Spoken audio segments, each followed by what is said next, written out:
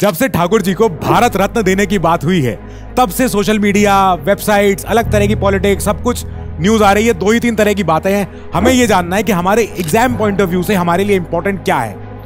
Mungeri Lal commission की report को इन्होंने अप्रूव किया था, जिसकी वजह से बिहार में ओबीसी को आरक्षण मिला। टोटल शराबबंदी इन्होंने करवाई बिहार में। अब, जो बिहार में 2022 में कास्ट सर्वे हुआ था, वो इसी रिपोर्ट की बदौलत हो पाया था। इनका पॉपुलर नाम है जननायक और जननायक और लोकनायक में फ़र्क है।